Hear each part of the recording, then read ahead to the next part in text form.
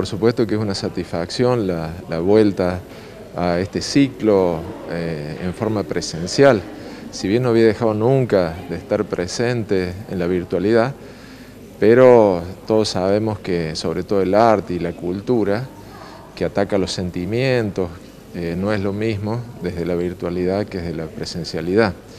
Y, más teniendo en cuenta en, este caso particular con una muestra de Liliana de Pícoles, que,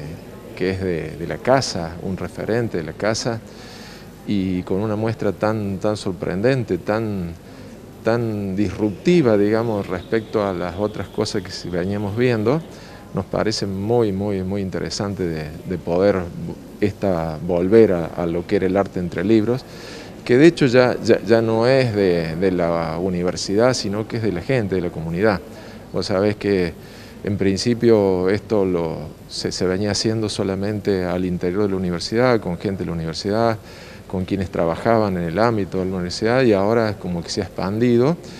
y ya le pertenece a, los autores, a, los que lo visitan eh, y eso nos parece muy importante, que ya no, no, depende de la propia universidad, sino que depende de quienes participan. ¿Hasta cuándo va a estar abierta? ¿Hasta cuándo se puede recorrer eh, la muestra acá en la UNI? Eh, también si hay personas de la comunidad que se quieran acercar, ¿cuánto tiempo va a estar disponible? Mira, va a ser por un mes, va a ser hasta el mes de septiembre, el 11 de septiembre, así que va a haber el tiempo suficiente para que la muestra pueda ser eh, disfrutada por todos los que quieran. Por supuesto, las puertas abiertas, no solamente para eh, quienes pertenecemos a la universidad, quienes la recorremos, sino para aquellos que les interese lo que muestra Liliana y aparte también mostrar la universidad, ¿no? que es otra de las, cosas importantes que nosotros creemos que